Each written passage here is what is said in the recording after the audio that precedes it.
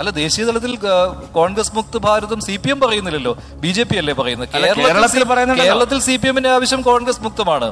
അപ്പോൾ രമേശ് ജി പറഞ്ഞതല്ലേ? കുറച്ചുകൂടി ശരി. അല്ല കോൺഗ്രസിനെ ആരും മുക്തമാക്കുന്നതല്ലെന്ന്. രാഹുൽ ഗാന്ധിയും കമ്പനിയും ചേർന്ന് കോൺഗ്രസിനെ ഇല്ലാതാക്കാണ്. ഞങ്ങൾക്ക് എന്ത് ചെയ്യാൻ പറ്റുന്നു?